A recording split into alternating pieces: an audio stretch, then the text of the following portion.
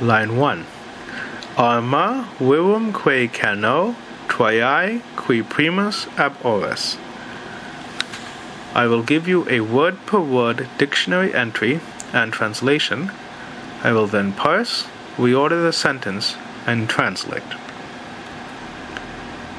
Arma virumque cano. Arma. Arma armorum, neuter, second declension, no singular. Is accusative plural, means tools of war. We will translate as arms.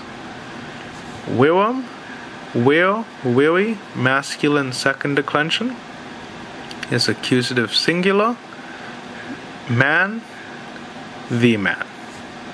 Que, enclitic conjunction, and, and. Cano, cano, canere, cecini, cantum. First person, singular, present, indicative, active. The subject is ego, but no need for a personal pronoun, for no need to emphasize or distinguish. I sing, I sing of. So, arma virumque cano, arms, the man, and I sing of. Troiae qui primus ab oris. Troiae, Troia, Troiae, feminine first declension, genitive singular, of Troy, of Troy. Qui, qui, cuius, qui, quem, quo, nominative singular masculine, who, who. Primus, primus, prima, primum. Nominative singular masculine. First, first. Ab, ab. Preposition with the ablative from, from. Oris, ora, ovi. Feminine first declension. Ablative plural border or limit, we would translate this as coasts.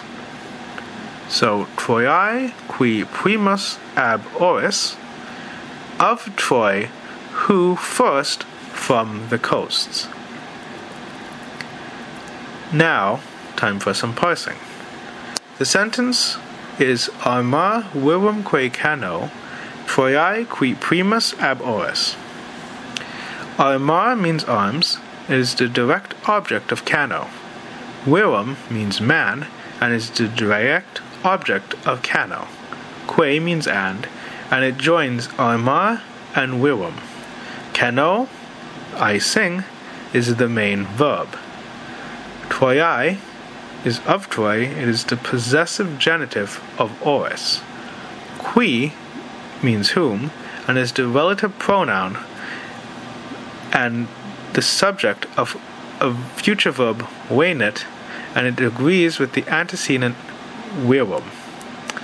And as you know, relative pronoun has to agree with its antecedent in gender, number, and person, but the case it depends on its use in its clause.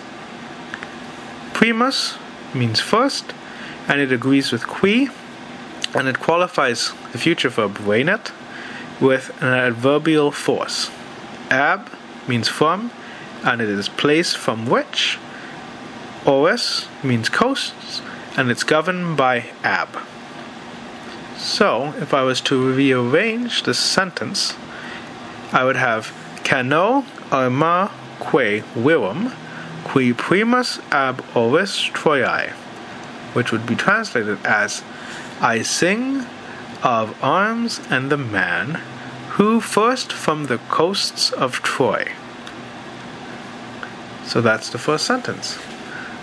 Arma virumque cano, Troiae qui primus ab oris. I sing of arms and the man who first from the coasts of Troy.